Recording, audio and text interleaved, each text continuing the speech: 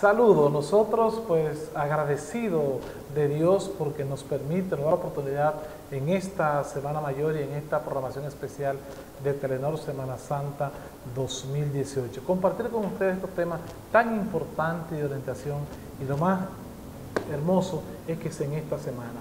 Y nosotros pues tenemos, vamos a compartir este importantísimo tema junto a nuestro querido Padre Carmelo. La iglesia y su acción misionera. Saludos para Carmelo, bienvenido. Mi saludo, Víctor Puntier, para usted y para todos los miembros de esta parroquia catedral, que de paso le digo que son todos los fieles de la diócesis, porque la catedral es eh, la sede del obispo. Y también para aquellos que no son fieles de la catedral, de otras parroquias, de la diócesis, del país, eh, a donde quiera que llegue Telenor y su programación, reciban mi saludo caluroso y afectuoso para cada uno de ustedes.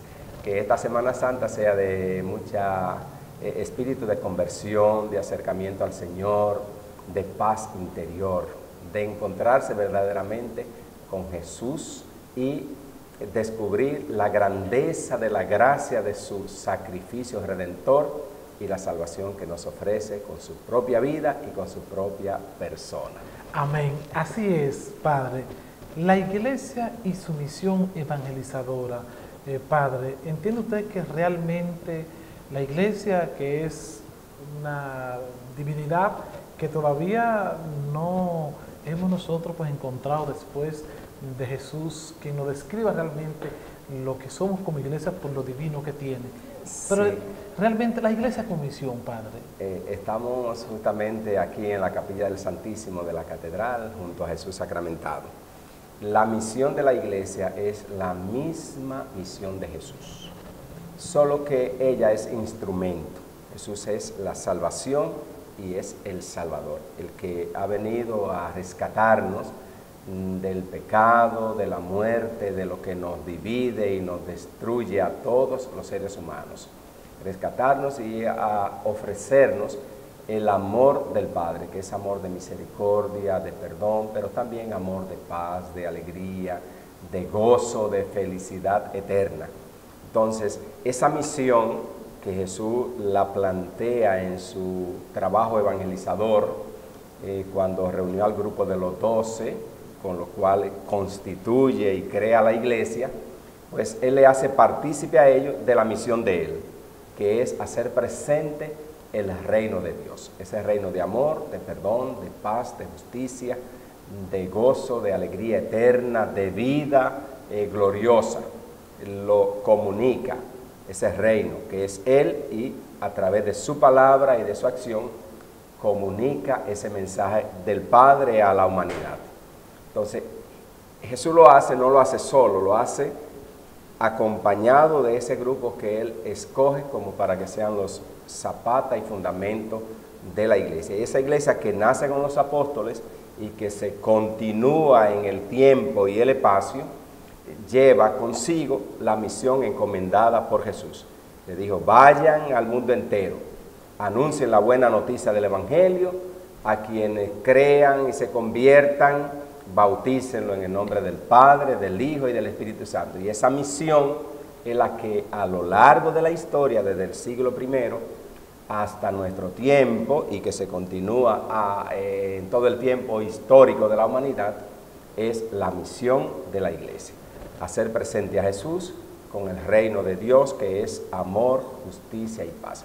Ahora, si nos preguntamos, iba a decir algo. Sí, sí, eh, compartir con usted, Padre, hoy nosotros, eh, ¿cómo podemos imitar ese gesto, esa obra de arte que Jesús a través de él, Dios a través de Jesús, ha podido ser tan sólido durante toda la historia? Eso es lo que te iba a decir. ¿Cómo ahora la iglesia eh, realiza su misión? En cada época, en cada circunstancia, la iglesia hace presente el reino y hace, eh, ejecuta la misión de Jesús. Va a variar de acuerdo al tiempo y la circunstancia, dependiendo de los acontecimientos históricos de la humanidad. Eh, por decir, detalle simple, el reino lo comunicamos nosotros en español entre los dominicanos. Si fuera en Italia, se comunica en Italia. Así que la forma va a variar. Entonces, en la iglesia eh, existe lo que se llama la acción pastoral, que es aquella acción de la iglesia eh, que primero tiene el marco doctrinal, que es toda la enseñanza de Jesús y los contenidos de la fe, y tiene luego lo que se llama el marco de la realidad. Es decir, que los agentes de pastoral, que son los miembros de la iglesia que comunican el mensaje evangelizador de Jesús, toman en cuenta para sí mismos lo que Jesús nos ha comunicado. Pero toman en cuenta también a quién se dirige ese mensaje, el destinatario de la misión de Jesús. Y ese destinatario, con su circunstancia eh, concreta, económica, política, social, cultural, es tomado en cuenta. Es decir, no es lo mismo tú comunicarle el mensaje de Jesús a un niño de 4, 5, 6 años, que tiene que usar una metodología más catequética, eh, más de anécdota, de cuentecitos, para que el niño capte, que a una persona adulta. Y no es lo mismo comunicarle el mensaje a una persona experta en ciencias, en filosofía, en psicología, un estudioso, que a una persona que no sabe leer ni escribir. Es decir, que eh, eso es lo que se llama ver el marco de la realidad. Entonces, la iglesia, ¿qué hace? En su acción evangelizadora hace eh, primero para el tiempo actual y para la circunstancia actual cuáles son los contenidos del mensaje de salvación que hay que priorizar y enfatizar en determinado momento y circunstancia. Y después, el estudio de la realidad que le va a decir de qué manera nosotros debemos llevar esa misión evangelizadora a todo el pueblo de Dios.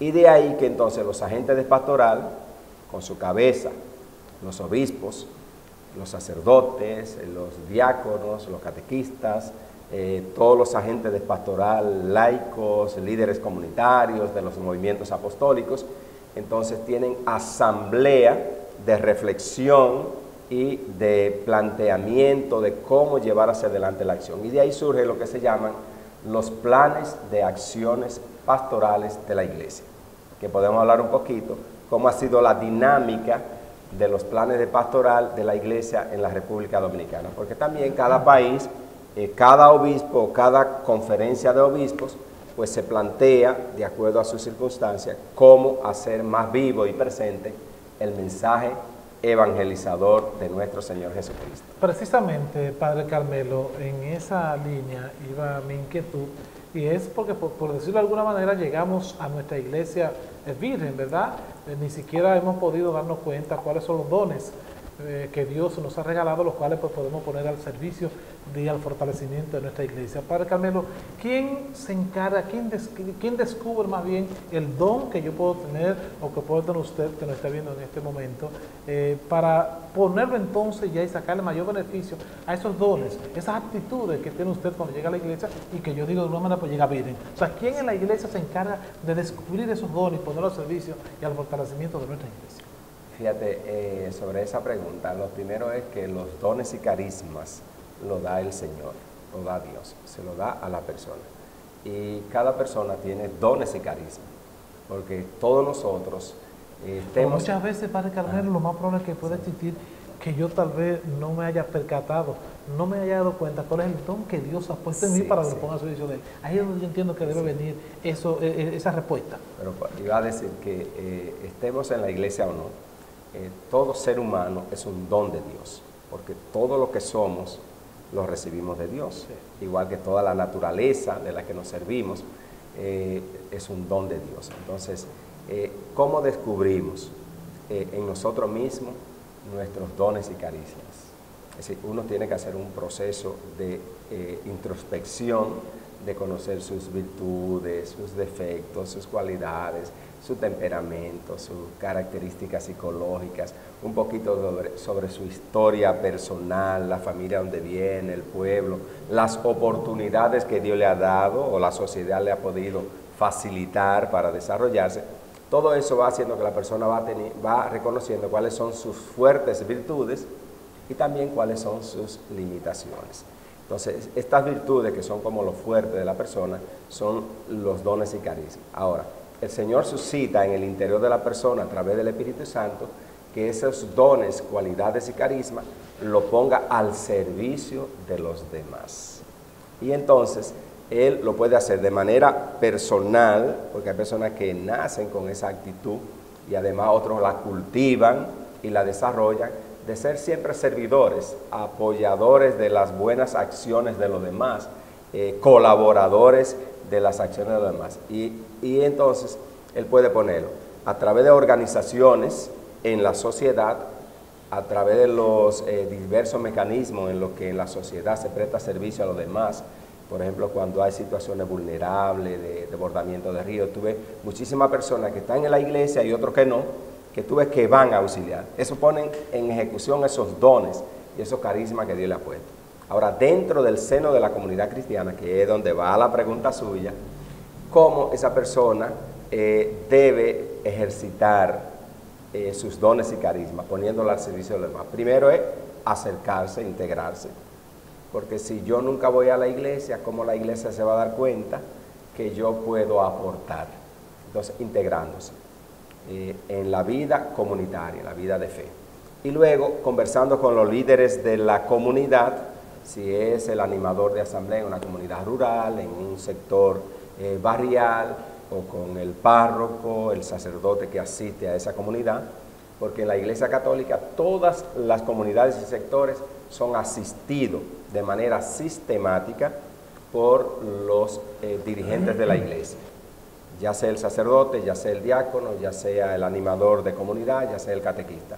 Y por lo general todos los sacerdotes visitamos al menos una vez al mes cada una de las comunidades. Entonces ahí entonces, un acercamiento a quien dirige la comunidad, eh, diciéndole, Padre, yo estoy en la disposición de colaborar, yo soy bueno en esto, a mí me gusta hacer esto. Entonces, tú ah, eh, te identificas, es decir, te, te expresas. Pero puede haber, Padre Carmelo, previo a ese acercamiento, eh, una eh, o sea, previo a ese acercamiento que puede hacer ese hermano, que él entiende que tiene esa habilidad y quiere ponerse a servicio a la iglesia, puede también haber una previa evangelización, donde hay del sacerdote, el diácono, el, trabajador comunitario de esa zona, que pueda inducirlo a que se acerque y se ponga a la disposición. Eh, exacto, correcto. Y esa tarea de nosotros, los líderes de la iglesia, es decir, descubrir los dones y carismas que Dios ha puesto en la persona y facilitarle el espacio y las situaciones concretas de la comunidad para que él pueda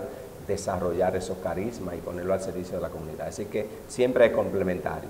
Por un lado la persona tiene que manifestar su disponibilidad de colaborar y por otro lado los líderes que están al frente de la comunidad, eh, darle la oportunidad y brindarle el espacio de colaboración.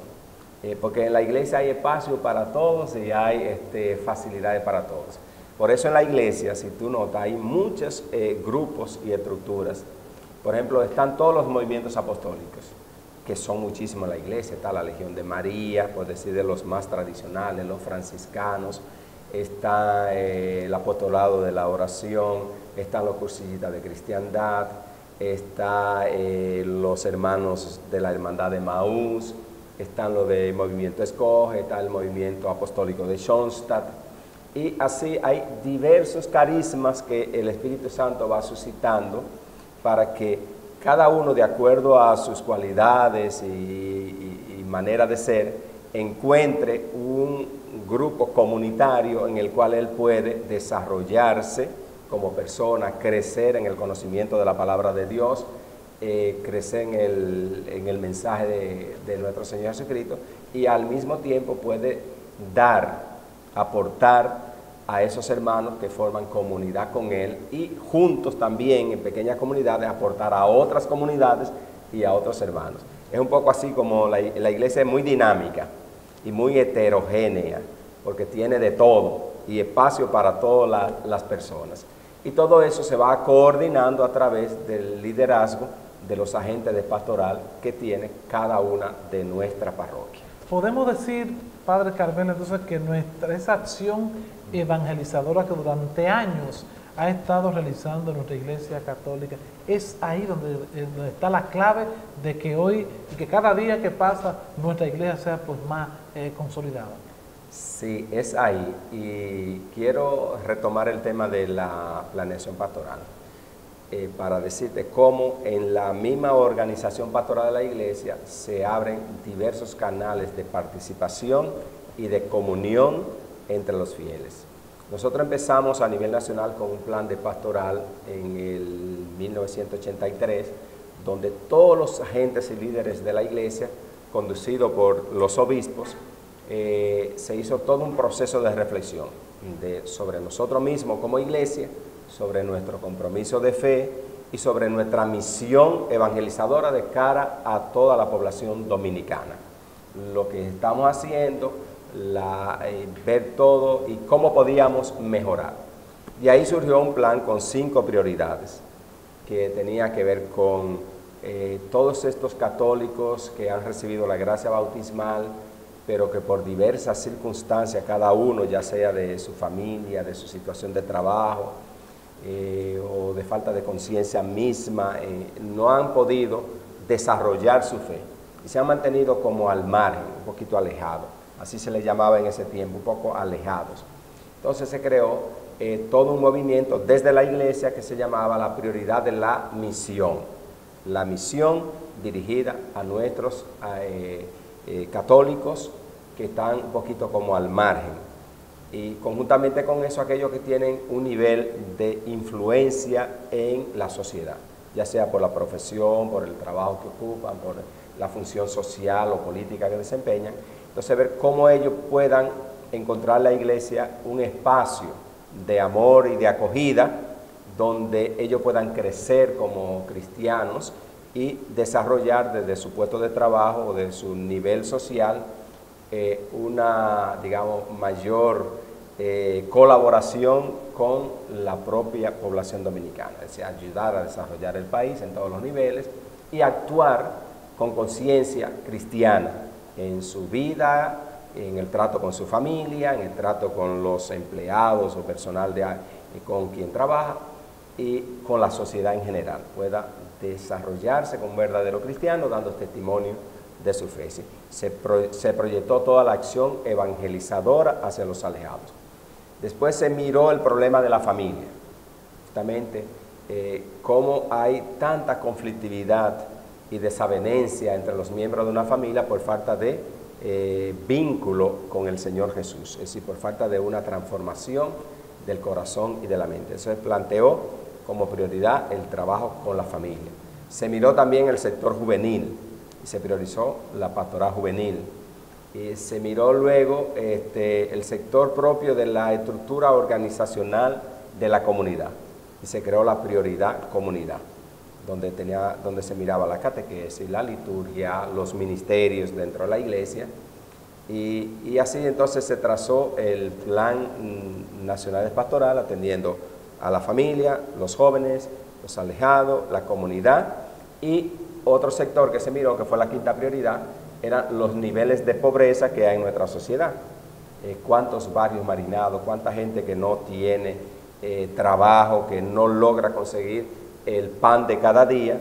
Entonces, ¿cómo nosotros como iglesia podemos venir en apoyo y auxilio eh, de esta gente para que se promuevan socialmente, estudien, consigan un trabajo y este, se puedan integrar de manera adecuada en la vida social. Es decir, venimos a ayudar, pero por otro lado también que tomen conciencia de su ser persona, de su dignidad y de los valores que Dios ha puesto en ellos y cómo lo pueden echar, eh, ponerlo a producir.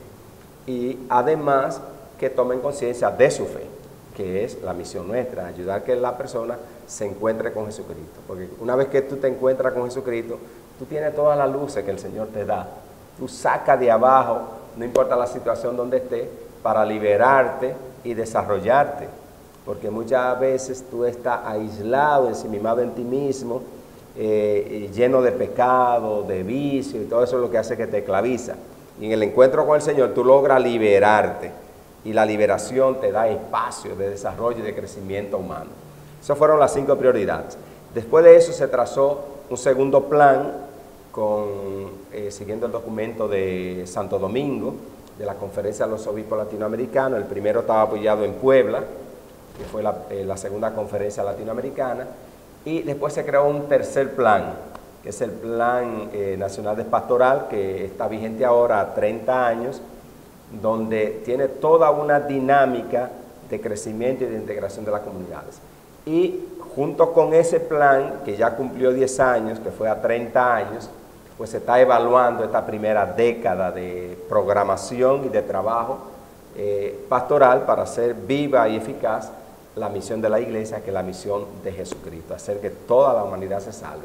Entonces, juntamente con ese plan, nuestro obispo, Monseñor Fausto Ramón Mejía Vallejo, eh, con todos los agentes pastoral de la diócesis de San Francisco de Macorís, ha planteado una prioridad, es como un plancito quinquenal inserto en el Plan Conjunto Nacional, en el que la prioridad uno, como era el primer plan, era la familia por toda la situación por la que está atravesando la familia hoy día.